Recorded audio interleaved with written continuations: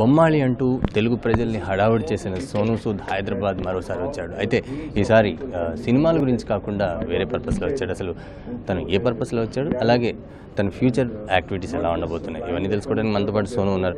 సోను చాలా రోజుల తర్వాత హైదరాబాద్లో కనపడుతున్న కెరియర్ స్టార్ట్ చేసింది హైదరాబాద్. సో ఏ విధంగా how how you feeling now coming to Hyderabad? Um, Hyderabad, I always say, is like my first home. I started my career from here. Whatever I learned about films, uh, I learned it from Hyderabad. So uh, I, I, they're very fond memories of staying in Hyderabad. You know, I have so many friends here.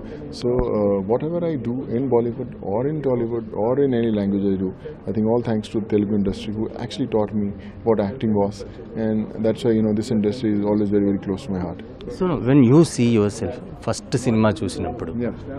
తర్వాత ఈ రోజు చూస్తే కనుక చాలా difference ఉంది సోనులో you acted with Amitabh and other people also so comparing yourself. What's the difference you can see in yourself Uh, I I would say, uh, uh, you know, as an actor, you always grow when you're not from the film background. It's not easy to actually, um, you know, come up in life. You, it's it's a tough challenge to convince people that you are really worth their films.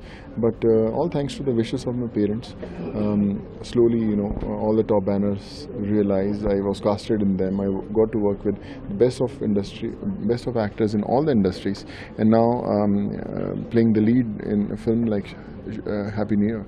So uh, I think it's it's been a great journey. But uh, every film teaches you a lot, and you know I think every film is a step ahead in life. And uh, thanks to God and thanks to my parents, who uh, because of them I'm standing here today in front of you. Uh, so normally uh, people say in film industry, if you don't have backup, right. if you don't have backup, you will not be in the movies. Right. So what? You don't have any backup. Yeah. Now how the industry helped you and how uh, they responded to you?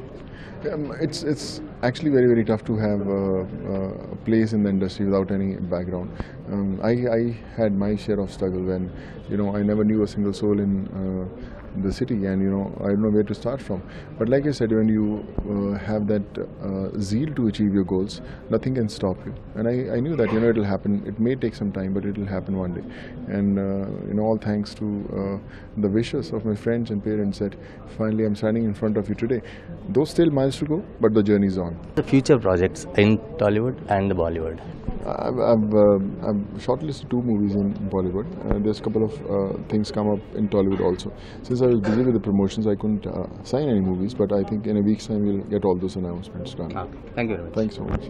So ఫ్యూచర్లో మంచి మూవీస్తో అందరినీ ఆ, ఆకట్టుకుంటానని అలాగే కాంత్రయంలో ఎవరు best అంటే మాత్రం చెప్పలేమని కూడా సో సోనీ సూద్ అంటున్నారు with cameraman Satish Sivaram express TV Hyderabad